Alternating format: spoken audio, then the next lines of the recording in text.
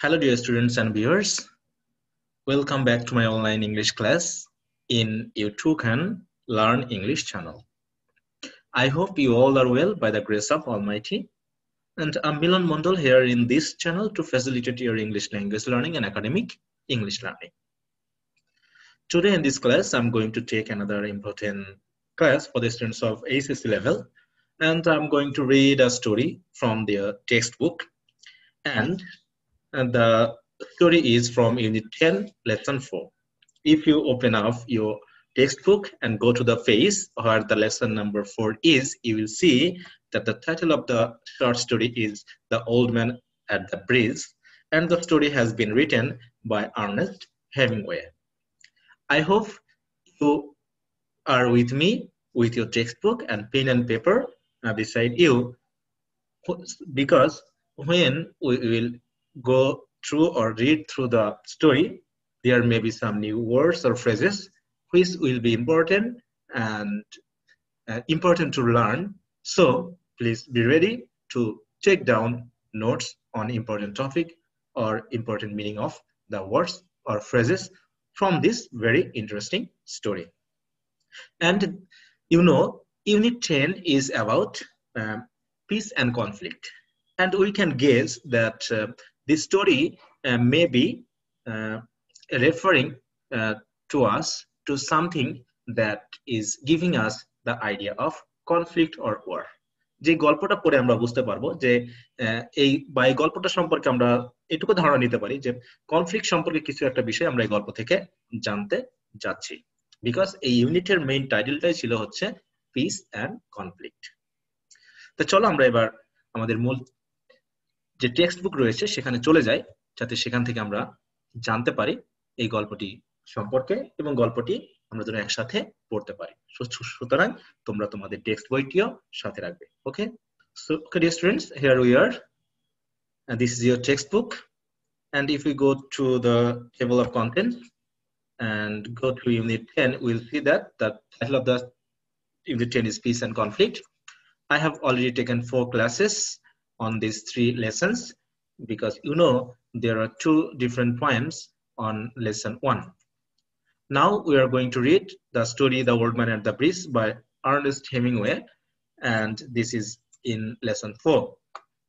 And we will find the story at page 134. So let's go to the page now. Okay, dear students, here we are at phase 134, and this is the lesson four. And we have already got the story, The Old Man and the Race, written by Ernest Hemingway. এখানে আসলে আমরা দেখতে যাব এখানে যদি আমরা একটু warm up activity একটু জিনিস দেখি যে think and note down the kind of problems uh work can create for human beings and other living things অর্থাৎ একটা যুদ্ধ মানব জাতির জন্য বা অন্যান্য যে সকল জীব রয়েছে, তাদের জন্য কি কি প্রবলেম তৈরি করতে পারে তা চিন্তা করে এবং লেখো। তাহলে এই কথাটা দিয়ে আমরা আইডিয়া করতে পারছি যে এই স্টোরিতে আসলে আমরা কি জানতে যাচ্ছি। যে একটা যুদ্ধ যখন তৈরি হয়, সৃষ্টি হয় বা যুদ্ধ যখন বেঁধে যায়, তখন মানব জাতি সহ অন্যান্য যে জীব রয়েছে, তাদের বিভিন্ন ধরনের সমস্যায় পড়তে হয়। তার কিছু আইডিয়া আমরা এই গল্পের মধ্য দিয়ে পাবো। গল্পটা শুরু করার আগে একটা ধারণ, একটু বিষয় আমি বলতে চাচ্ছি, সেটা হলো, এই গল্পটার যে ন্যারেটর তিনি একজন সোলজার এবং তিনি দায়িত্বে রয়েছেন যে লোকজনকে নদী পার করে একটা জায়গায় যুদ্ধ তৈরি হবে বা যুদ্ধ বেঁধে যাবে বলে একটা ধারণা করা হচ্ছে এবং লোকজনদেরকে ওই এরিয়া থেকে সরিয়ে নেওয়া হচ্ছে। তো এই অবস্থায় লোকজন তাদের গাড়ি নিয়ে, তাদের মালামাল নিয়ে এক জায়গা থেকে অন্য জায়গায় স্থানান্তরিত হচ্ছে বা চলে যাচ্ছে।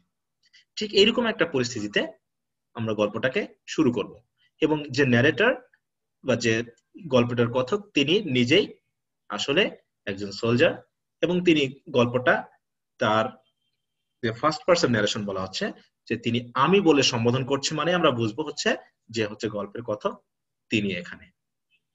এই গল্পে রয়েছেন। এবং তার সাথে এখানে কথা বলা হবে একজন বৃদ্ধ লোককে এবং এই বৃদ্ধ লোকের মাধ্যমে by taking the old man man the the of of, or of the people who actually suffer from a particular war মানে যুদ্ধ বাদলে লোকজন যে ভোগে বিভিন্ন সমস্যায়, সেই ভোগান্তির একজন ব্যক্তির রিপ্রেজেন্টেটিভ হিসাবে কিন্তু এই ওল্ড ম্যানকে ব্যবহার করা হয়েছে। এবং তার মাধ্যম দিয়ে বলা হচ্ছে যুদ্ধ আসলে আমাদের জন্য কি ধরনের সমস্যা তৈরি করতে পারে। চলো আমরা গল্পটা পড়া শুরু করি। অ্যান ওল্ড ম্যান একজন বৃদ্ধ লোক with steel rimmed spectacles with মানে বুঝব পরে থাকা। তাহলে তিনি পরে আছেন কি? স্টিলের ফ্রেম যেটা রিমড বলা হচ্ছে, আমরা জানি যে বৃদ্ধ লোকেরা যে চশমা করে থাকে, অনেকটা সেই চশমার যে ফ্রেমটা সেটা অনেকটা স্টিলের তারের মতো যে তাহলে steel framed or steel rimmed spectacles spectacle মানে চশমা পরে আছেন অ্যান্ড ভেরি ডাস্টি ক্লথস এবং পরে আছেন কি? খুবই নোংরা পোশাক। তাহলে খুবই নোংরা পোশাক এবং একটি স্টিলের ফ্রেমের চশমা পরে একটা বৃদ্ধ লোক কি করে আছে? স্যাড বসে আছে, বা বসে ছিল ওটা পাস্ট টেন্স যেহেতু বলছি স্যাড বসে ছিল কোথায় by the side of the road road একটা পাশে।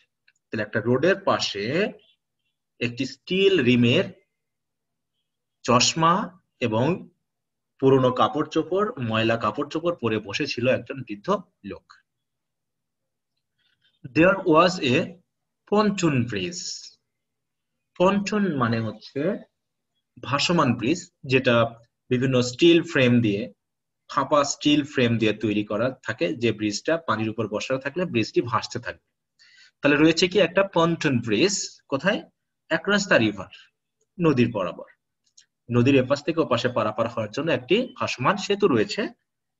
And carts trucks and men and women and children তাহলে আমরা বলেছি, যেহেতু লোকজনকে সরিয়ে নেওয়া হচ্ছে, অতএব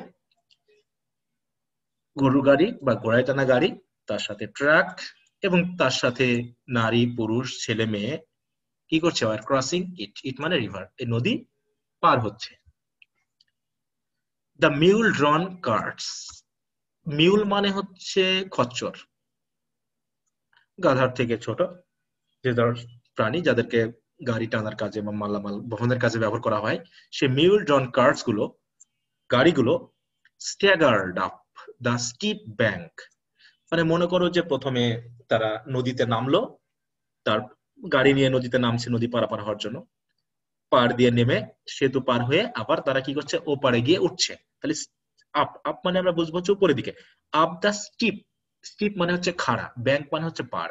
তাহলে হচ্ছে ফ্রম দ্য ব্রিজ তাহলে ব্রিজ থেকে তারা কিন্তু উঠে যাচ্ছে। তাহলে হচ্ছে যে খচ্চরে টানা যে গাড়িগুলো, সেগুলো ধীরে ধীরে স্ট্যাগার্ড মানে ধীরে ধীরে কি করছে স্ট্যাগার্ড আপ উপরের দিকে যাচ্ছে ব্রিজ থেকে পাড়ের উপরের দিকে।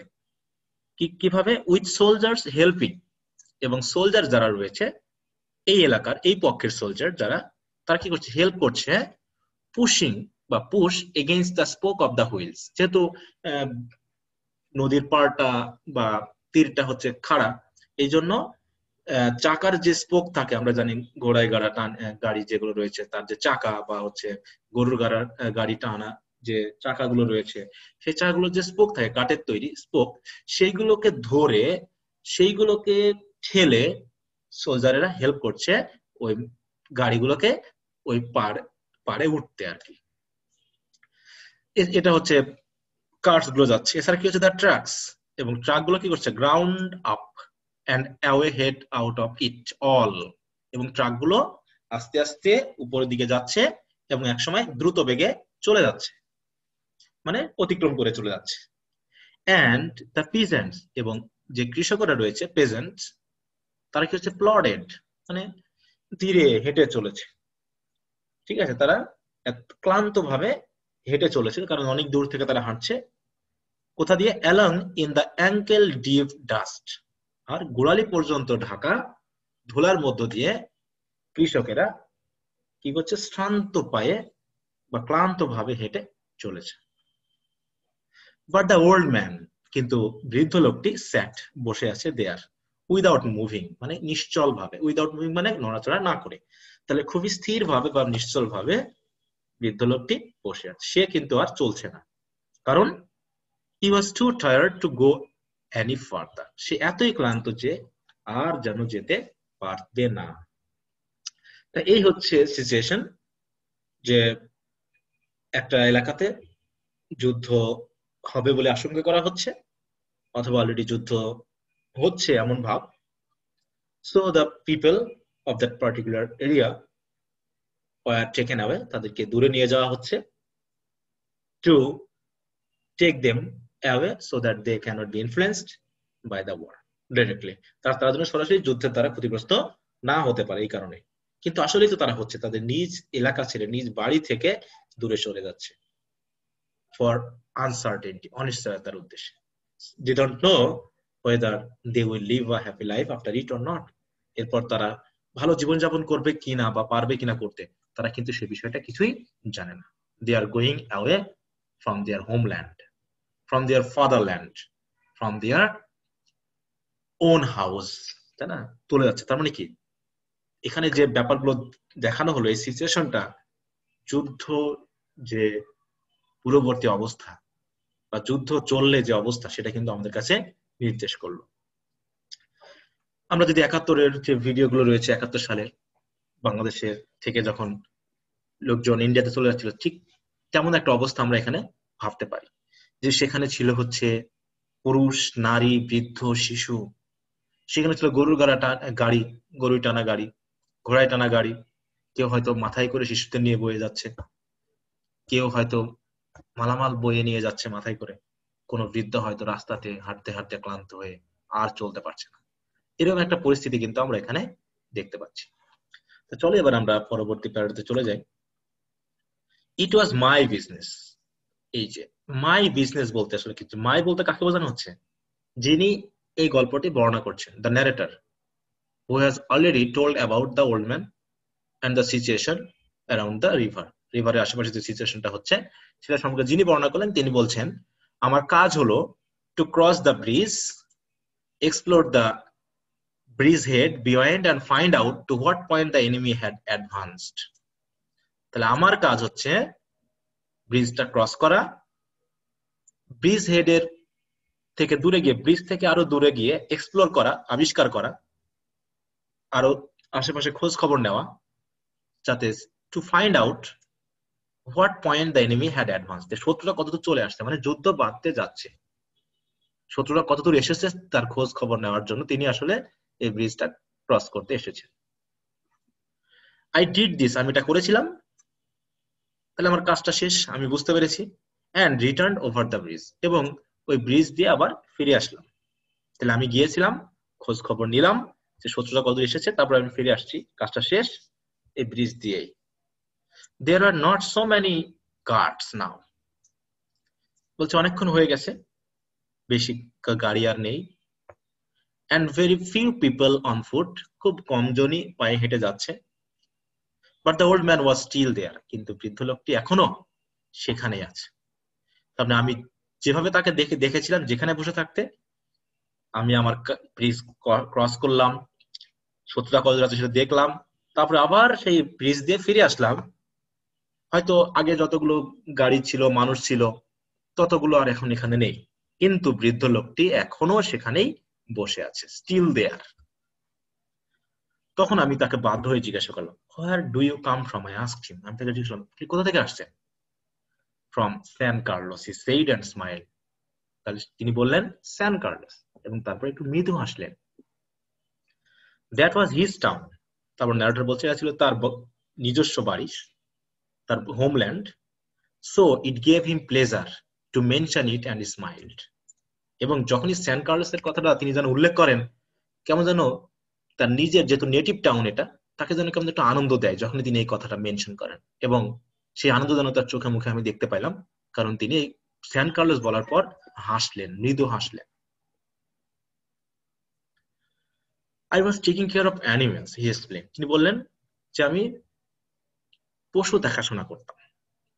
ও I say not quite understand তখন রাইটার বলছেন ন্যারেটর বলছেন, কি কি, উনি কি বলতে চাইলেন আমি বুঝলাম না।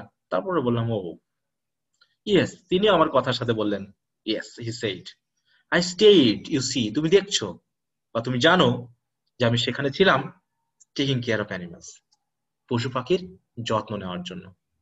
I was the last one আমি মনে হয় শেষ ব্যক্তি to leave the town of San Carlos যে স্যান কার্লস টাউন ত্যাগ করেছে, সব মানুষ। আমি মনেই শেষ ব্যক্তি হিসাবে স্যান কার্লস ত্যাগ করলাম। অর্থাৎ আমার পরে আর কোনো মানুষ স্যান কার্লসে নেই। আমি হচ্ছে শেষ ব্যক্তি। আমি সেখানে ছিলাম, আমি সেখানে থাকতাম। কিসের জন্য? আমার যে পশু রয়েছে সেগুলো দেখাশোনা করতাম।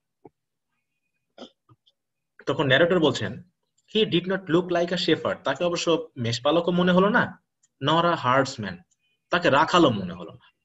And I looked at his black dusty clothes এবং তার যে কালো, নোংরা ক্লথস রয়েছে সেদিকে তাকালাম and his grey dusty face এবং তার যে বিবর্ণ ধূসর, ধুলোময় ময়লা যে মুখ সেদিকে তাকালাম and his steel rimmed spectacle এবং তার এই যে স্টিলের রিমডের যে চশমা সেদিকে তাকালাম। মানে তার দিকে আমি তাকালাম, তার অবয়বটা বোঝার চেষ্টা করলাম অ্যান্ড সেইড এবং তারপরে বললাম হোয়াট অ্যানিমালস ওয়ার দে তারা কোন জাতীয় পশু বা জন্তু?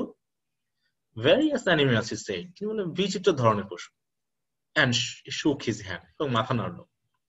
I have to leave them আমার তাদের ছাড়তেই হলো। মানে তিনি ছাড়তে চাচ্ছিলেন না। তিনি ছিলেন লাস্ট ওয়ান বলা হচ্ছে। কিন্তু তাকে ছাড়তে হলো, তাকে ছাড়তে বাধ্য করা হয়েছে। Because something is going to happen that may affect the life of the old man so he was force to leave his own native town even he has to leave the animals he was taking care of তাই যে সকল পশু পাখি তিনি দেখছিলেন, সেগুলোকে তাকে কিন্তু ছাড়তে হলো। তখন এই কথা শোনার পর ন্যারেটর বলছে I was watching the bridge আমি ব্রিজটা দেখছিলাম। And the African looking country of the Ebro Delta এই যে এব্রো ডেল্টা আফ্রিকার আফ্রিকান দেশীয়, দেখতে অনেকটা দেশ এব্রো ডেল্টা সেদিকে আমি দেখছিলাম। অ্যান্ড ওয়ান্ডারিং এবং ভাবছিলাম how long it would be before would see the enemy যে কতক্ষণই বা লাগবে যে যখন আমরা শত্রু দেখতে পাবো। যে শত্রু তো আসছে, কিন্তু আমরা তো বুঝতে পারছি না শত্রু কত দূর। And listening all the while for the first noise that would signal that ever mysterious event called contact and the old man sat still there.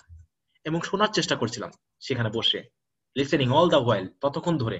For the first noises যে প্রথম সংকেত আসবে মানে নয়েজ মানে কি? সাউন্ড বা হইচই আসবে যে যুদ্ধ শুরু হয়ে গেছে, এমন একটা সিগনাল দ্যাট উড সিগনাল যেটা আমাদের সংকেত দিবে that ever mysterious event called contact মানে এই যে যুদ্ধ নামক যে ইভেন্টটা মিস্ট্রিয়াস ইভেন্ট যেটা শুরু হয়ে গেছে, আমাদের সিগনাল দিবে এমন হইচই শোনার জন্য আসলে অপেক্ষায় ছিলাম। কারণ আমরা এখন অপেক্ষা we are just waiting that the enemy will come and a war will occur or happen and then so many people will be affected so many of them will die so many of them will be wounded and there will be noises shout crying and we are just waiting for that. And it will give us the signal that a war has already started.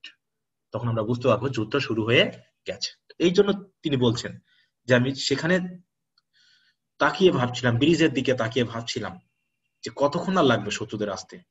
কতক্ষণই বা আমরা বুঝতে পারব যে যুদ্ধ শুরু হয়ে গেছে। এদিকে আমি তাকিয়ে আছি, ভাবছি, এবং কি হচ্ছে? The old man still at there কিন্তু বৃদ্ধ লোকটি এখনও সেখানেই বসে আছে। স্টিল নিশ্চিল ভাবে তাই তো? নিশ্চল ভাবে স্থির ভাবে সে কিন্তু বুঝে উঠতে পারছে না যে সে সেখান থেকে যাবে কি? যাবে না। কিন্তু যাই হোক রাইটার তার কথা চালিয়ে যাচ্ছে। What animals are they I asked আমি তখন জিজ্ঞেস করলাম, কোন ধরনের পশু তারা? বললাম যে, এখানে বলছেন হোয়াট অ্যানিমালস আর দে তারা কোন ধরনের পশু, বিচিত্র ধরনের, কিন্তু সে অ্যানিমেলগুলো কি কি? এটা আমি জানতে চাইলাম। There were three animals all together আসলে বেশি নয়, মাত্র তিনটি জন্তু তার কাছে ছিল। হি এক্সপ্লেন তিনি বলেন দেয়ার আর টু গোডস দুইটা ছাগল অ্যান্ড আ ক্যাট এবং একটা বিড়াল।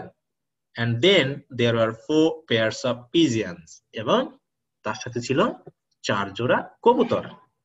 তাহলে এইগুলো তিনি দেখাশোনা করতেন। মানে there are none else to look after the old man rather the old man was taking care of these only three animals, that goats, cat, and pigeon. They were their relatives. They were everything to the old man. তারাই ছিল সবকিছু। He has cause to live. তাদের, তার একটা বাঁচার উদ্দেশ্য ছিল কোনগুলি? পশুগুলি। But this word did not give him the hope to live to continue living on this earth তাহলে পৃথিবীতে বেঁচে থাকা, বেঁচে থাকার জন্য যে আশা, সে আশা যেন যুদ্ধ কেড়ে নিল। And you had to leave them I asked এবং আমি তাকে জিজ্ঞেস করলাম আপনাদের সেগুলো ছাড়তেই হলো? Yes because of the artillery এই যে গোলন্দাজ বাহিনী আসছে এই গোলন্দাজ বাহিনী যারা আছে, তারা ওখানে রয়েছে যে সব সৈন্য তারা আমাদের বাধ্য করল। The captain told me to go because of the artillery গোলন্দাজ বাহিনীর কারণে ক্যাপ্টেন বলল যেতেই হবে। কিছুই করার নেই you can not stay here তুমি এখানে থাকতে পারবে না। Because a war is going to start যুদ্ধ শুরু হতে যাচ্ছে। And you have no family asked তখন আমি জিজ্ঞেস করলাম, আপনার পরিবার নেই? Watching the far end of the bridge where a few last carts were hurrying down the slope of the bank তারপর কি হলো? আমি ব্রিজের শেষ প্রান্তের দিকে তাকিয়ে দেখছিলাম যার কয়েকটি কার্ড রয়েছে যারা দ্রুত পাড়ের তীর ধরে, পাড় ধরে দ্রুত চলে যাওয়ার চেষ্টা করছে। এটা দেখতে দেখতেই আমি বৃদ্ধ লোককে জিজ্ঞাসা করলাম, আপনার কোনো পরিবার নেই? তাহলে দেখো you have no family just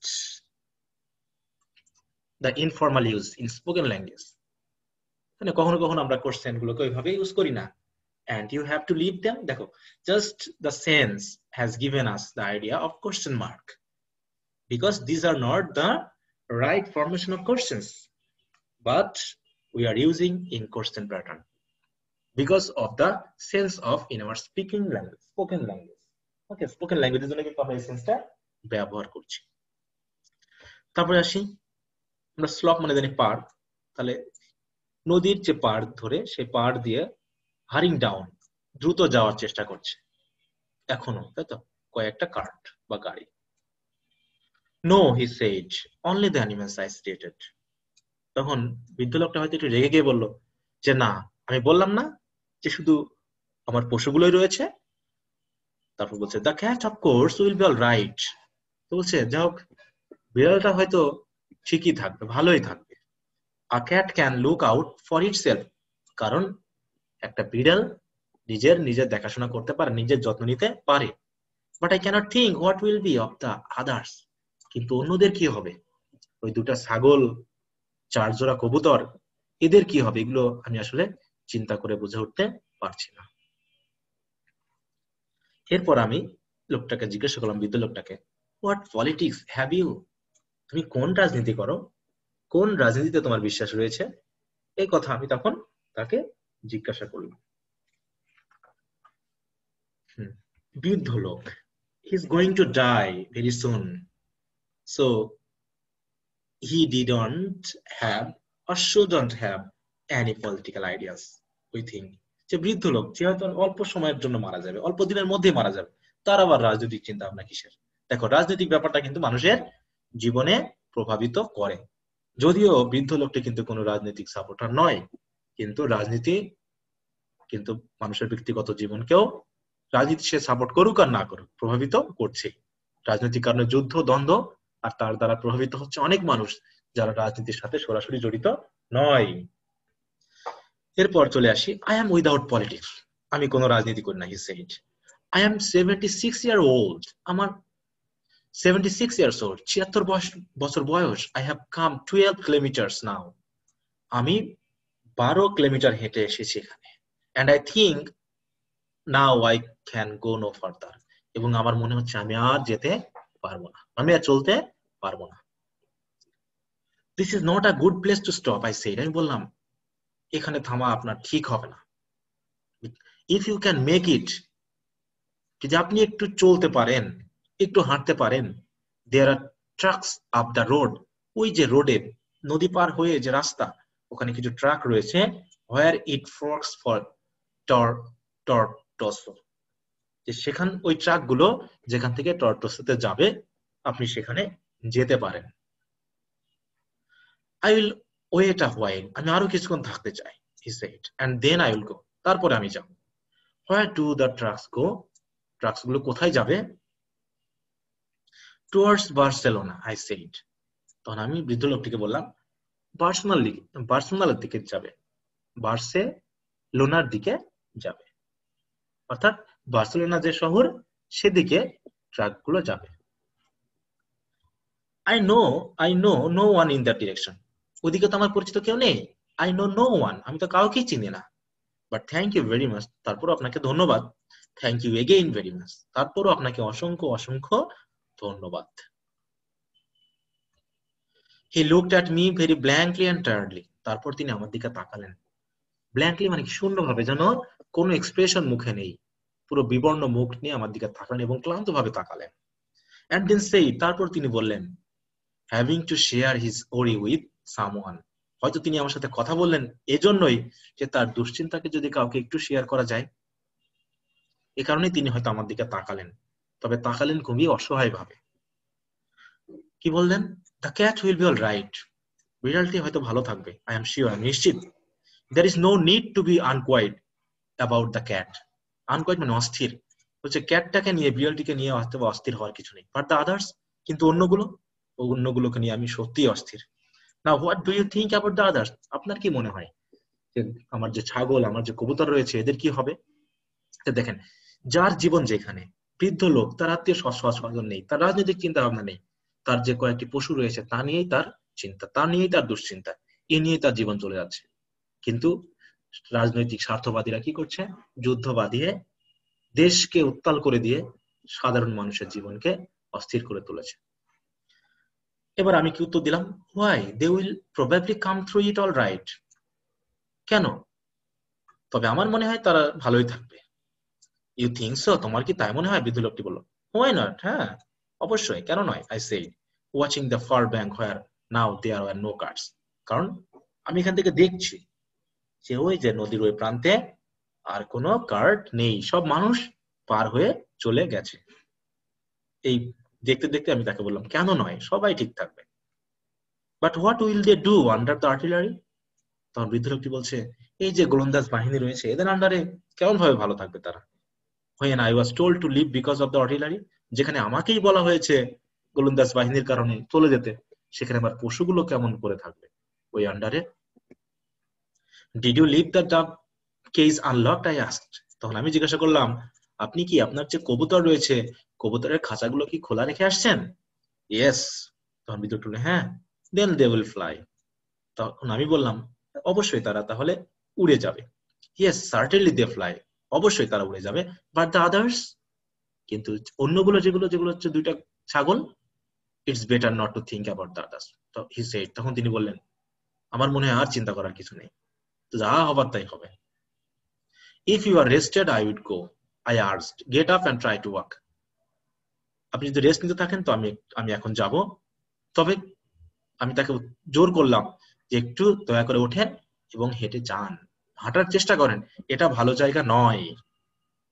Thank you he said and got to his feet সে একটু ওঠার চেষ্টা করল, পায়ের উপর ভর দিয়ে।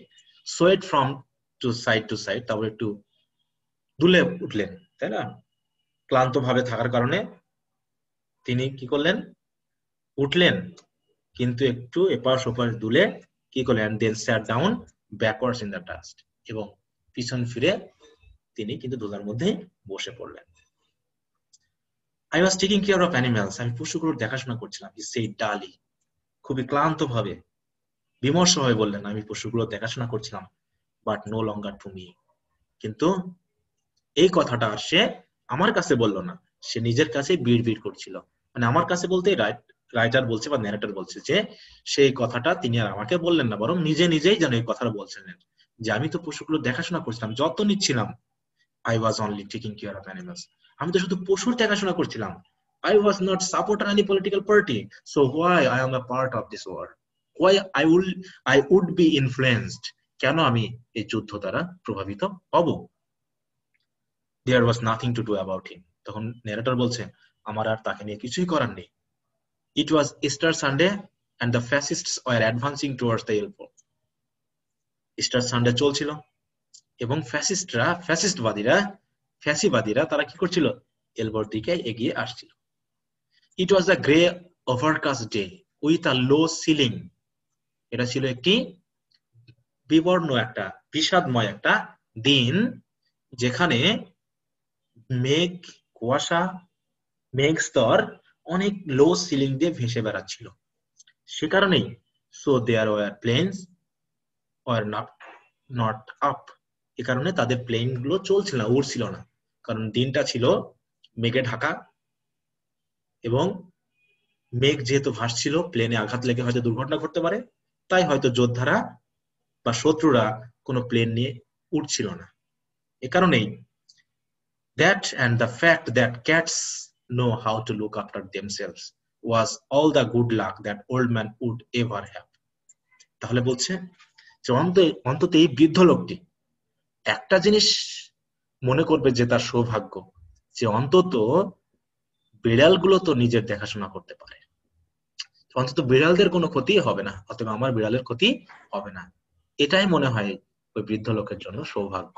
Otherwise everything is a omen everything is a bad luck for him সবকিছুই তার জন্য দুর্ভাগ্য।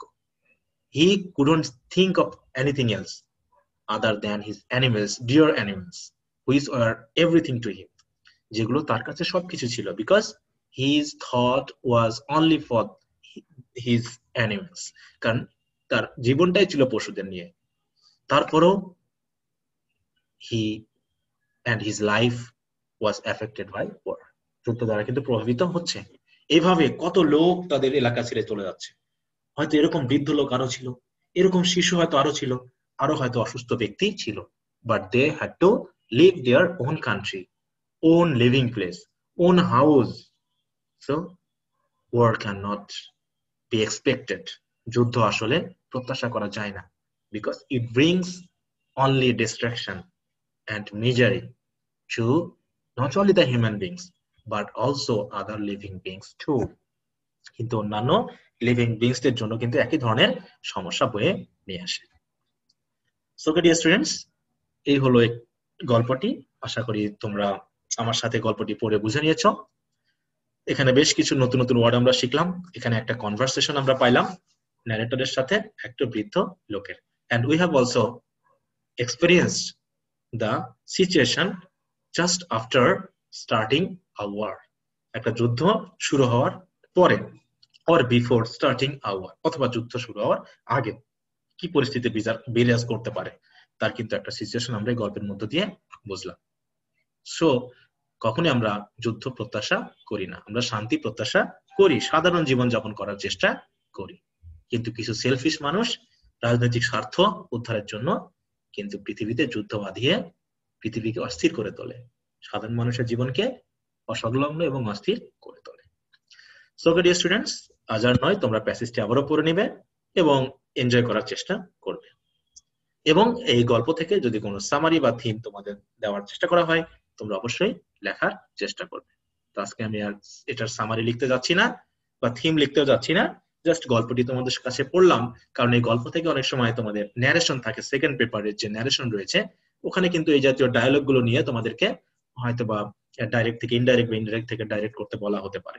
বা পাংচুয়েশন মার্কের জন্য তোমাদের এই ডায়লগগুলো তুলে দেওয়া হতে পারে এক্সামে তা তোমরা একটু চেষ্টা করবে প্যাসেজটি সুন্দর করে পড়তে যাতে যে কোনো ধরনের কোশ্চেন যদি সেট করা হয় এই প্যাসেজ থেকে বা এই গল্প থেকে তোমরা তার আনসারটা সহজে করতে পারবে। এবং গল্পের যে রাইটার তার নামটা অবশ্যই মনে রাখার চেষ্টা করবে। Okay Ernest Hemingway So, dear students, no more today.